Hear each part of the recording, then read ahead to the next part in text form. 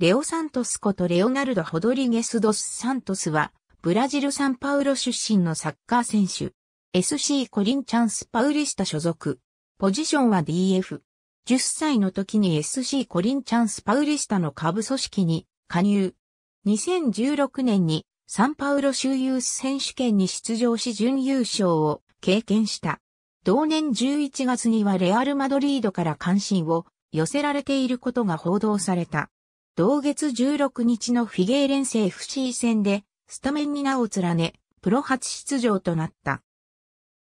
2019年2月27日、シーズンいっぱいまでフルミネンセ FC へ無償で期限付き移籍することが発表された。4月10日に右室外腱炎の手術を受け全治3ヶ月の診断を受けたが、治療が長引いたため7月22日にコリンチャンスへ戻る。翌月10日には正式にローンが打ち切られることとなった。U-17 ブラジル代表として2015年の南米 U-17 選手権と U-17 ワールドカップに参加したが、後者では出場機会がなかった。U-20 代表として2017年の南米ユース選手権に参加した。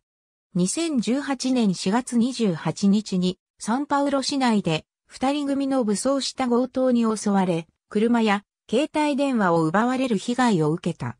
ありがとうございます。